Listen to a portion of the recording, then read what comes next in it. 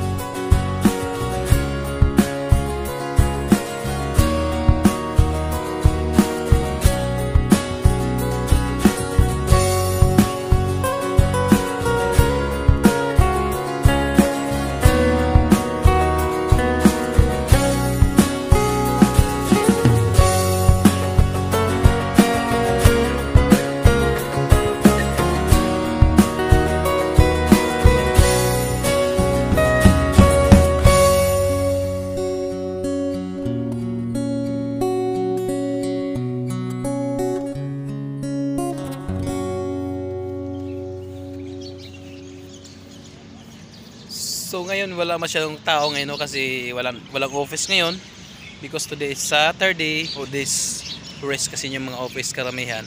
So ngayon wala masyadong hindi masyadong crowded yung area. Uh, at this time is 6 o'clock in the morning. So mostly meron na kaming maraming mga booking yan, mga kinagsusundo mga pasahero. So ngayon nandito pa rin ako nakatambay. Medyo mahaba yung ano ko ngayon, mahaba yung rest. Napaka napaka popular na lugar dito sa Qatar. So talagang pinupuntahan talaga to ng mga tao especially sa gabi. Especially pag weekend. So we have so many people there, tourists or local. If- Kung may mga oras din naman kami, lalo na lalo na ako, talagang pumupunta ko sa isang site, sa isang landmark na dito sa Qatar. Kung ano yung mga landmark, yung historical landmark nila. Yun ang gusto kong pinupuntahan tuwing day off ko. So, by next day, pupunta ako sa Qatar Museum. Kaya bago ka bago kasi makapasok doon, kailangan magpa online appointment ka. Kailangan online appointment ka, magkaroon ka ng ticket para ipiprint mo yung ticket bago ka makapasok sa loob ng na Qatar Museum. Mus- Museum. So ang Qatar Museum kasi makikita mo lahat yung mga ginagamit nila yung mga sinauna, yung mga sinaunang panahon, yung, ah, mga sasakyan, kung ano-ano man. So yung mga antigo ng mga gamit nilang pinipreserve nila, hindi hindi nila pinabayaan, iniingatan nila.